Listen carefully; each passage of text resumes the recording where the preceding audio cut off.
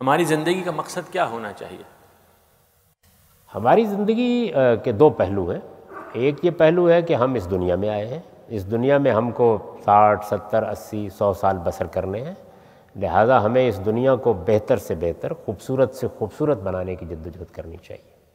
اسی وجہ سے اس دنیا میں جو کچھ ہم کو حاصل کرنا ہوتا ہے، دنیا کی زندگی کو بہتر بنانے کے لیے وہ مال بھی ہو سکتا ہے، دولت بھی ہو سکتی ہے، اقتدار بھی ہو سکتا ہے۔ اللہ تعالیٰ اس کو خیر کہتے ہیں، اپنا فضل کہتے ہیں، کوئی کانڈمنیشن نہیں کرتے۔ اس دنیا کے اندر زینتیں بھی ہیں، ضروریات بھی ہیں۔ تو اپنی دنیا کی زندگی کے لیے جتنی بہتری ہم پیدا کر سکتے ہیں، اس کے لیے ہمیں عقل بھی دی گئی ہے، مواقع بھی فراہم کیے گئے ہیں اور ہماری مدد بھی کی گئی۔ تو پہلا کام تو یہ ہے کہ ہم اپنی دنیا کی زندگی کو اچھی زندگی بنائیں، بہتر زندگی بنائیں۔ انفرادی سطح پر بھی، اجتماعی سطح پر بھی۔ ہر انسان کو اس کی جد وجہد کرنی چاہیے، اس کا حق ہے اور یہ اللہ کو پسند ہے کہ وہ جد وجہد کرے۔ اس کو ابتغائے فضل اللہ کہا گیا ہے۔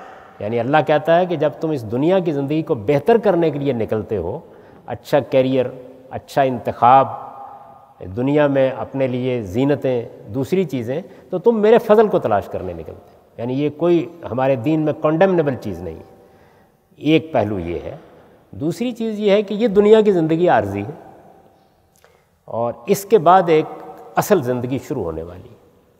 بتایا گیا ہے کہ یہی زمین و آسمان جو آپ کو نظر آ رہے ہیں، اس کو ہم اٹھائیں گے اور اٹھا کر اس کو اکٹھا کریں گے اور اکٹھا کر کے ایک نئے زمین و آسمان میں بدل دیں گے۔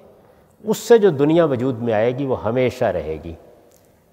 اس میں انسان کی اخلاقی وجود کی بنیاد پر اللہ فیصلہ کریں گے کہ کون اس دنیا میں خوشی کے ساتھ جینے کا حق رکھتا ہے اور کون نہیں رکھتا۔